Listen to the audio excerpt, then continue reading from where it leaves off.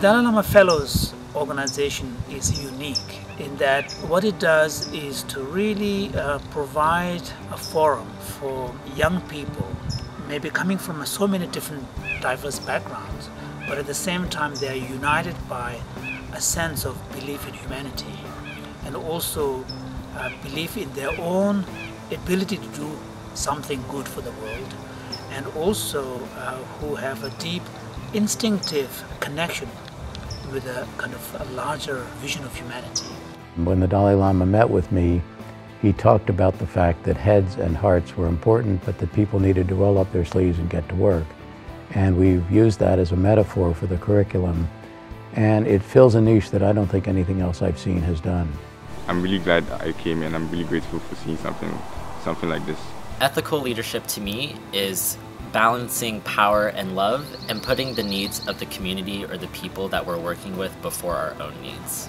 Dalai Lama Fellows are selected from major universities around the world to engage in innovative, faculty-mentored, year-long social change projects, like building the capacity of indigenous people to reclaim their forest rights in the Indian state of Tamil Nadu, and establishing the first school-based food garden in one of Appalachia's poorest counties. Projects often make creative use of technology, such as creating a year-long web-based conversation on waste management between students in suburban Montreal and inhabitants of a trash dump community in the Philippines, and developing a mobile phone app that encourages and facilitates charitable giving in Ghana. It's so fun and so exciting to be around people who are all passionate about what they're doing. Everyone here is working on a different project in a different part of the world with a different background and different approach, but it's so exciting to see how everyone's eyes sort of light up when they're talking about what they're most passionate and excited about. We have people from Asia, Africa, Europe, and America. We face the same problems before in our lives. We are nearly the same age, have the same ideas, get excited about the same things, like our dreams are similar and we all uh, aim to the same goal, which is helping others.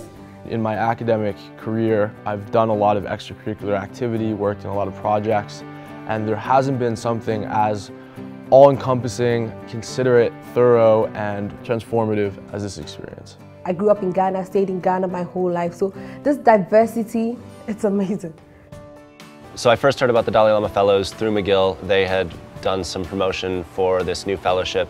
The big question that they posed was, what would you do to change the world? It sounded like a very unique and different opportunity because of the sort of mentorship aspect and also that it's a year-long fellowship and then sort of a lifetime of being in the fellowship. Dalai Lama Fellows has been probably one of the greatest experiences so far of my life and I'm just so excited to be here and to share this with anyone who would like to listen. Favorite part of ELA is the cooperation within the fellows, exploring the different mindset uh, by putting different dynamism of the different feelings and what we are going to do in this coming year. Whenever a project is implemented, no, we give more importance to the project rather than the individual who are actually implementing the project. Here it is not just the project, it is also the individual and the kind of ethical values. The ELA, the conference, I think bringing together all the fellows is very different from anything else I've ever heard of. Bringing together these global minds to sort of have dialogue and discourse about these guiding principles. They push you, but they don't push you past your discomfort, but they push you into this space where you can share and learn and grow in ways that I didn't think were really possible.